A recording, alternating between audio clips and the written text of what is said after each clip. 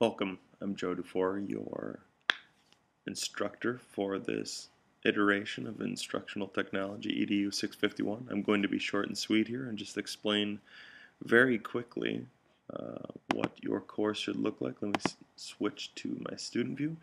If you scroll down here, you're viewing the watch this first video, this house right here, but you'll notice underneath there that there's a whole slew of things and right now you don't even have week number one available to you. However, if I come back in here and turn that back on so that you can see it, this will make a lot more sense.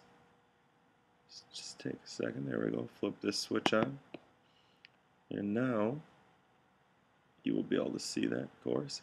And as you work your way down, we'll just pretend like you're in student view right now, you'll see there's an overview, there's steps to completion, there's learning materials, study resources, and activities and assessments for every single week.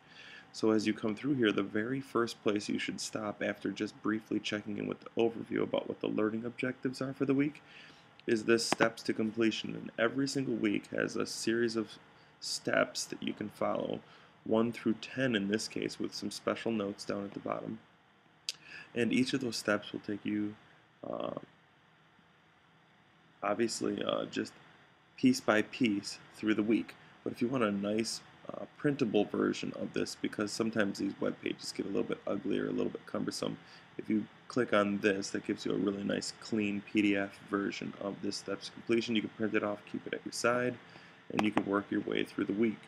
Uh, steps tell you, for instance, uh, first case here, to take a look at this video Digital Education Foundation video, then read some of these uh, pieces down here, and then to participate in the discussion forums down here at the bottom, and the study resource in this case is just an extra piece for you to take a look at if needed. And then finally at the bottom, uh, later on in the week, this week one wrap up will be revealed to you so that you could see it and see how you did and see how things progressed. Up here at the top of your class, you're going to find all the research library resources and research materials up here. These are great for getting started with uh, finding journals and articles later on in some of the weeks when I have you look up and find your own research pieces. But there's also great things from the librarians here. As well as down here are supporting documents like rubrics for the discussion forum. There'll be paper rubrics and writing rubrics and project rubrics down here as well. These NETS standards I want you to take special note of though because they'll be used continually and consistently throughout this class. So you have to return to these quite often. I would encourage you to just download them and have them at your disposal uh, all of the time.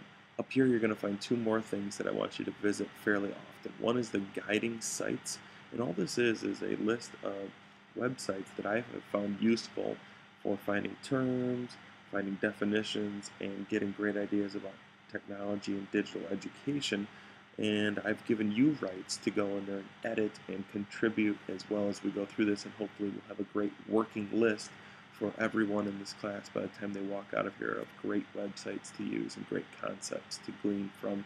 And then finally, there's this digital education glossary, which you'll see in week one, step to completion. You will be contributing to repeatedly as you go through and work your way through this class. And so you'll be visiting this on a fairly regular basis that's it for instructional technology, EDU 651, at least for now.